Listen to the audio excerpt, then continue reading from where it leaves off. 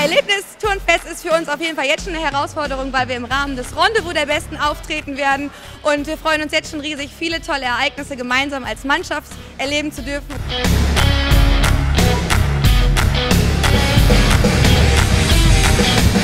Wir freuen uns riesig auf das Erlebnisturnfest. Wir finden das besonders klasse, dass diesmal wirklich dieses Rendezvous mit da drin steckt, dass wir mal was Neues erleben. Und wir sind besonders froh, dass unsere befreundeten Gruppen da sind, dass wir das mit denen zusammen erleben können, die ganzen Spiele und nicht nur den Wettkampf, sondern wirklich da absolut Spaß haben bei den ganzen Veranstaltungen.